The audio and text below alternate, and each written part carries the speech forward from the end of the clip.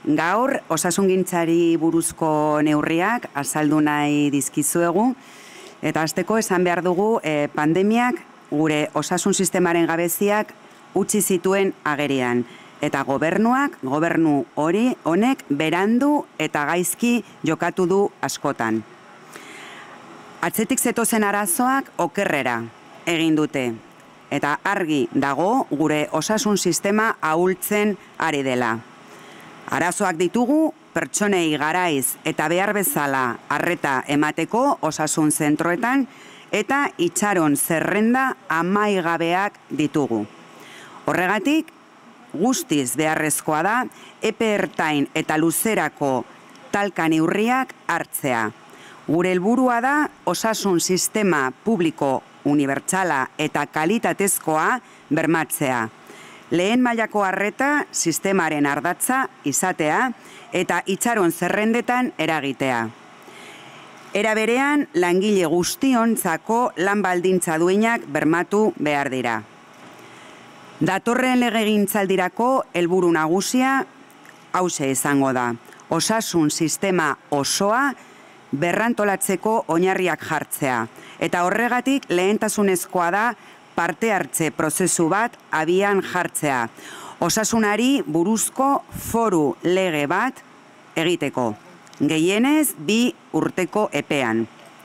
Lege horrek gure osasun sistema publikoa blindatu beharko du, lehen mailako harreta erdigunean kokatu behar du, aurrekontuaren euneko hogei iritsiz, eta Nafarroako egungo biztanleriaren errealitatera egokitu behar du sistema. Lehen mailako harretarako, giza baliabide eta baliabide material gehiago jartzea funtsezkoa da. Nafarroako osasun eremu guztietan. Landa eremuetan ekintza positiboak abian jartzea, ekitatea eta irizgarritasuna bermatzeko. Itxaron zerrendei aurre egiteko premiazko talka plana, funtseskoa izango da, eta plan horrekin batera baliabide propioak sustatzeko eta optimizatzeko plangintza egin behar da. Itunak eta sektore pribaturako derivazioak pizkanaka murriztu gutxienez euneko hogeita bostean. Mir plazen kopurua eta profilak erabakitzeko aukera izan behar dugu hemen Nafarroan. Nafarroaren beharretara egokitutakoak eta horregatik estatuarekin negoziatu beharko da. Karrera profesionala birformulatzea eta osasunbideko profesional guztientzat zabaltzea. Prestakuntza eta hobekuntza iraunkorra bermatzeko. Buenos días a todas y a todos y muchas gracias por acudir otra vez a nuestra convocatoria. Hoy queremos eh, contaros las propuestas en materia de sanidad que tenemos desde Euskal Herria Bildu. Esta legislatura ya vimos cómo la pandemia hizo saltar las costuras de nuestro sistema sanitario y este gobierno ha actuado en muchas ocasiones tarde y mal. Problemas que ya venían de atrás, problemas estructurales, se han agravado y la realidad es que nuestro sistema sanitario se está debilitando.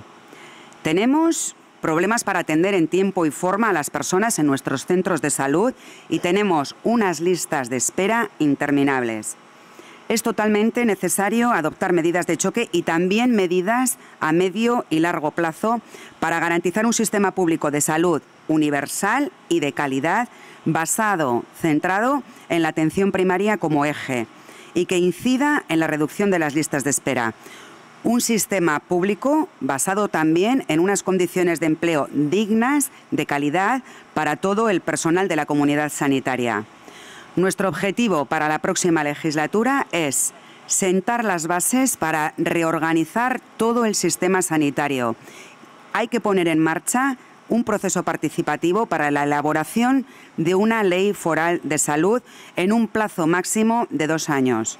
Una ley que, por una parte, blinde nuestro sistema sanitario público, sitúe a la atención primaria en el centro de la política sanitaria, con un horizonte de al menos el 20% del presupuesto y que se adapte a las necesidades de la población navarra actual.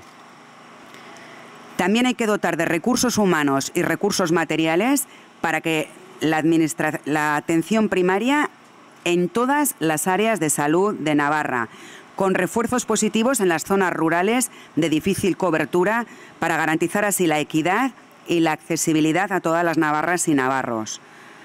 Fundamental, un plan de choque urgente para hacer frente a las listas de espera. Este plan debe ir acompañado de una planificación para el fomento y la optimización de los recursos propios y una disminución progresiva de los conciertos y derivaciones al sistema privado al menos en un 25%.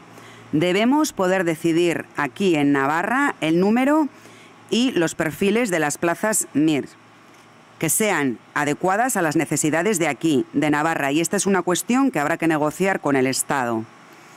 Hay que abordar una reformulación y una ampliación de la carrera profesional para todos y todas las profesionales de Osasunvidea, orientada a la formación y a la mejora continua de todas las trabajadoras y trabajadores.